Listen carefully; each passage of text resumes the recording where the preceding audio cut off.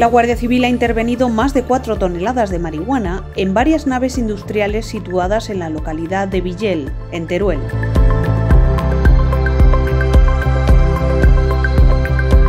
Los agentes han detenido a tres personas e investigado a más de una docena como presuntos autores de varios delitos contra la salud pública y pertenencia a organización criminal.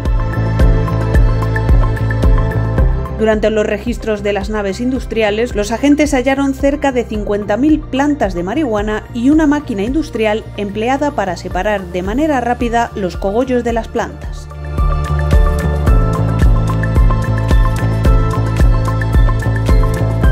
Se ha procedido a la quema in situ por miembros de la Brigada de Extinción de Incendios Helitransportada de Teruel de todas las plantas de marihuana, a excepción de casi 450 kilogramos de cogollos que fueron entregados en el área de sanidad de la subdelegación del Gobierno de Zaragoza.